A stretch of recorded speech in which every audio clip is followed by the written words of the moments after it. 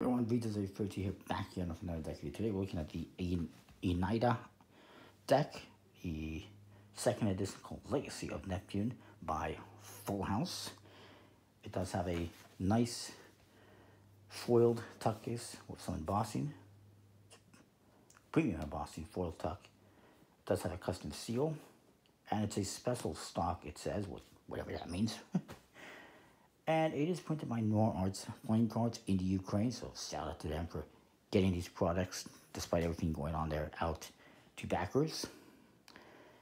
And producing nice decks. And, you know, support. I like to support Ukraine, uh, the Noir Arts in Ukraine. I think we all should.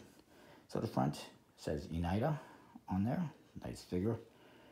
And on the sides as well. Almost kind of a pearlescent stock, maybe. I'm not sure. Maybe that's the special part of it. Eneida on top. Add copy on the bottom. Designed by Oksana Tarnovska uh, for Europe. Yuri, Yuri Kurbus, I should say, not Europe.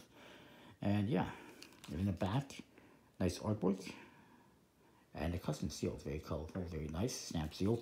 I took it off because when I, I was gonna, you know, do my usual cutting, but it just flipped off the so I figured, yeah, I'll take it off.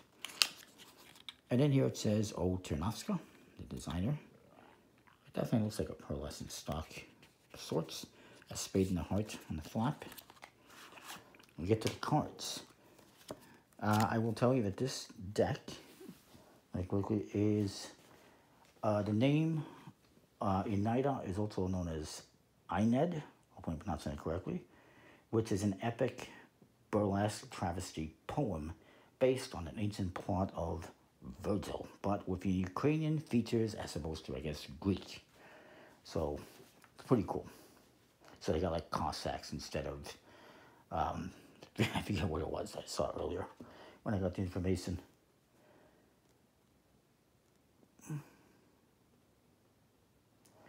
And of course, it's dedicated to the god of the water and the sea, Neptune.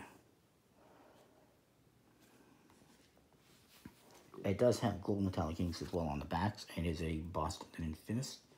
I, I don't really see the gold metallic ink, but maybe it's just me. It's a very colorful back design. And you see a Viking figure on there. Nice colorful design. Full bleed, borderless design.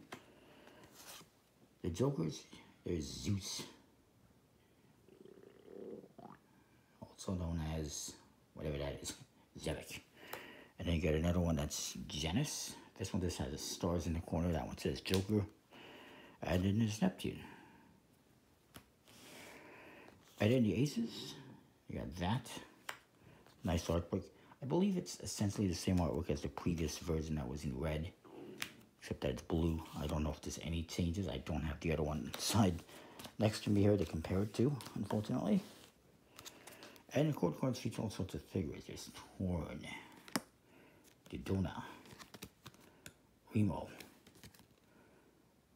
Aeneas, Niz, Lavinia, Latin. There's a guy named Latin that's hilarious. Lul or Ewell, Juno,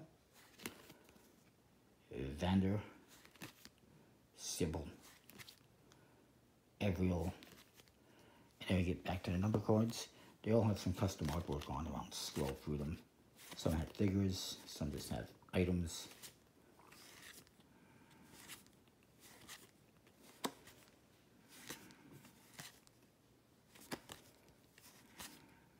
So you see Ukrainian elements, you see Greek figures. Pretty interesting. Plus there's all sorts of information on the project page if you want more information.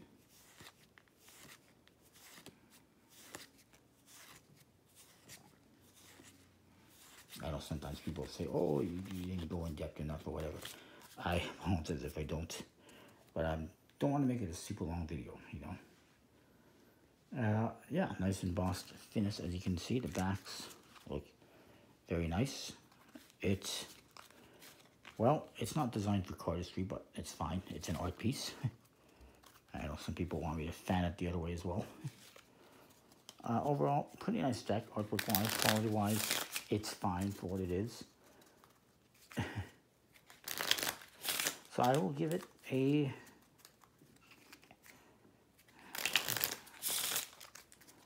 I'll give it an A. I'll give it an A. It does spread pretty nice. So yeah, that is that. Comment, like, subscribe, let me know what you think, and we'll see you next time. More thanks for watching. Hit the bell and subscribe and all that wonderful stuff. Thank you so much.